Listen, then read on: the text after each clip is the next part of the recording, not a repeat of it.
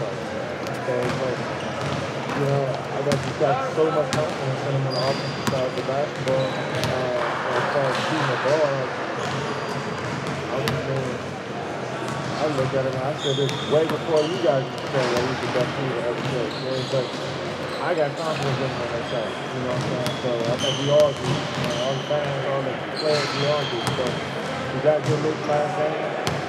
I mean, all of them were great shots.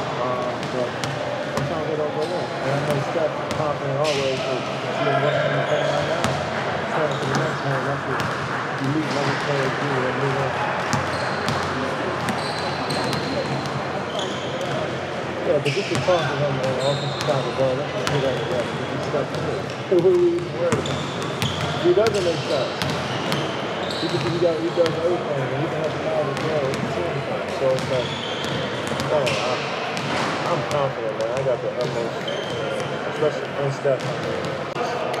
As a teammate, I expect nothing but greatness out of him. I think that's how everybody should look at.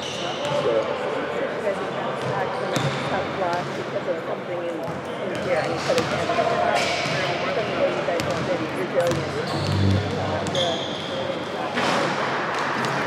I think when we lose basketball games, like you said lack of focus sometimes. And, we totally locked in on each possession and know what we have to do with a tough team to beat. And so when we lose the game and we watch film, it's just like, oh man, we missed the box out. or oh, we turned the ball over, or we didn't rebound, or we didn't get out the shooters, or we didn't drive and run hard enough. It's like stuff that we control. So it's like, you know, we can control this is the reason why we bounce back is because we start thinking about those things next game, stuff that we didn't do so well. And they, we start having like and you know, good games after a loss. So small stuff that we forget, forget about, and why we lose,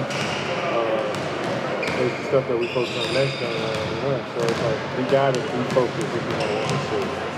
Remember, this, remember, remember another project that you, you put the page and I saw it, that's in the mode of war. What is it about it? Nothing at all. I'm gonna keep being me. Um,